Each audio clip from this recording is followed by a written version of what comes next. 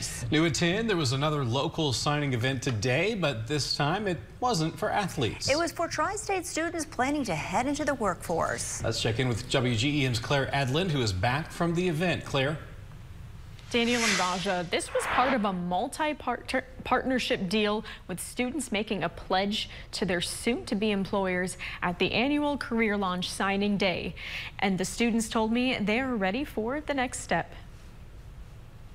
I believe in a willingness to do whatever it takes to get the job done. I believe that I should do my job with enthusiasm, regardless of how mundane or unpleasant the task may be. It's the start of a new journey as these six students embark on their careers. Celebrating the successes that you each had. Uh, you've got uh, some great employers to be working for. Managers from Blessing, QMG, and Leaser Trucking stand by their new employees as they sign their promises. Sign their pledges and hear about their hopes and dreams coming true. The career launch signing is that and more.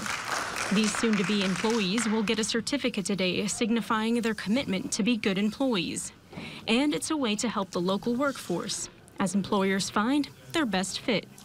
Riley will be working as a substitute teacher at the Pittsfield location, where she will work with children six weeks to five years old.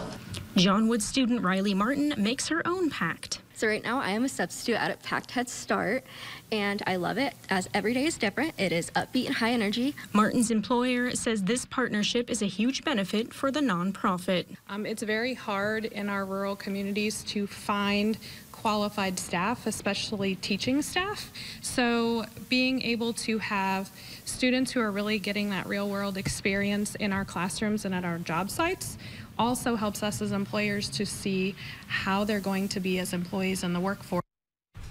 The Career Launch signing is hosted by the Adams County Career Guidance Team and in partnership with John Wood Community College and Quincy Area Vocational Technical Center. Daniel? All right, thank you very much, Claire. And the Adams County Career Guidance Team is made up of members from several local agencies, including the Great River Economic Development Foundation, the Workforce Innovation Board of Western Illinois, and more.